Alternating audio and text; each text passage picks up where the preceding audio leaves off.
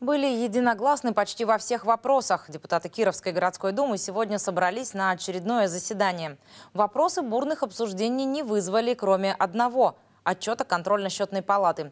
Чем именно остались недовольны депутаты, расскажет Никита Тузов.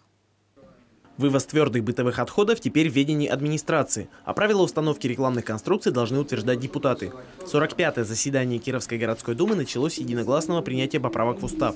В то же время отчет о деятельности контрольно-счетной палаты за прошедший год вызвал бурное обсуждение.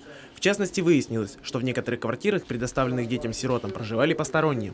Так, в пяти квартирах из 20 проверенных проживали посторонние лица, а не дети-сироты.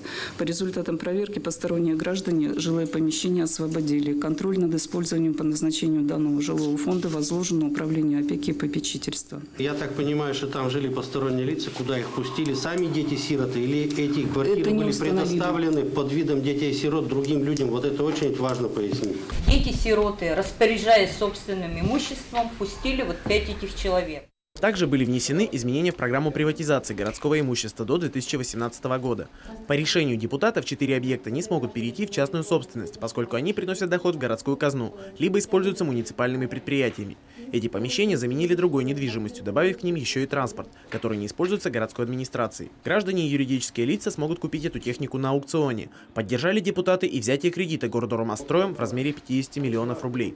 Данные средства необходимы предприятию на пополнение э, оборотных активов своего материалов, которые используются в работе, а именно щебня битума, э, в целях участия в конкурентных процедурах и выполнения своевременно заказов.